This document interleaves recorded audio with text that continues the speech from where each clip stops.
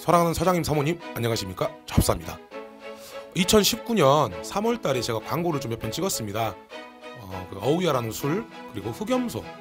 그리고 이건 좀 광고라고 보긴 조금 애매하긴 한데 그 축제 섭외. 되게 축제 섭외하고 3월 초에 또뭐 김치 그리고 이제 오늘 올라가게 될 석갈비 해가지고 제가 좀 광고를 좀 여러 편을 촬영을 하게 됐었는데 광고 비용으로 받은 돈 중에 어, 어느 정도를 시청자분들과 함께 어, 여행을 가는 컨텐츠로 좀 사용을 하고 싶어서 이 영상을 좀 어, 만들어 보게 됐습니다. 장소는 이번엔 경남 거제시고요. 어, 이번 여행의 테마는 봄맞이 그리고 어, 낚시 이런 걸로 해가지고 잡아보려고 합니다. 그 바다 보이는 거제도에서 저와 함께 좀 좋은 추억 쌓고 싶으신 분들의 좀 참여를 기다리고 있겠습니다. 날짜는 4월 20일입니다. 날짜는 4월 20일이고요. 회비는 전액 무료입니다.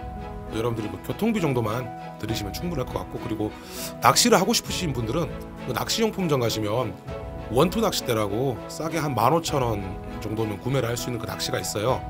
그것만 준비를 좀 하시면 될 것 같고 뭐 그 외에 들어가는 뭐 먹거리나 뭐 모든 거는 이제 좀 무료로 생각하시고 이제 오시면 될 것 같습니다. 20살 이상 성인 분이시면 뭐 참여 가능하시고요.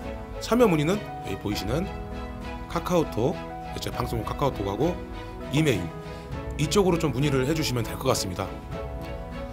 어, 이번 모임은 좀 약간 테러리스트적인 어떤 나는 꼭 이 사람들이 모이는 곳에 가서 테러를 저지르고 싶다 라는 마인드나 아니면 나는 술 먹고 정말 꼬장이심해서 뭐 싸움을 할 것 같다거나 아니면 분위기를 좀 너무 망칠 것 같다.